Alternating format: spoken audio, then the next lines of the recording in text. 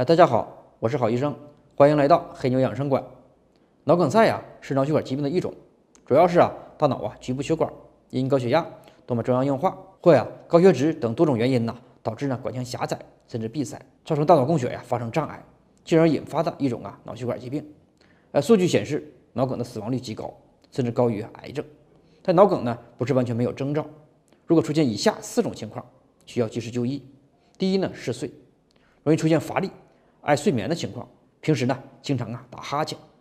第二呢，出现头晕伴有视物模糊，或者呢头晕伴有啊走路不稳，以及啊走路向一侧呀偏斜的症状。第三呢，手部没有力量，拿不住东西，一侧呀肢体麻木或伴有无力，或单个呀肢体麻木无力的症状。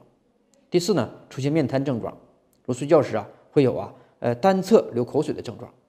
如果出现以上四种情况，要考虑是否出现脑供血不足。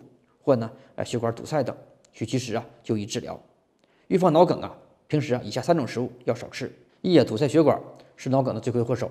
第一呢，蛋黄，蛋黄胆固醇含量较高。如果呀得过脑梗或脑梗风险人群，每周蛋黄啊摄入量不要超过三个，但每日呢可以吃一个蛋清补充蛋白质。第二呢，动物内脏，动物内脏也是典型的高胆固醇食物，如啊猪肝、鸡肝、猪心、鸡心、猪肾、猪头肉等。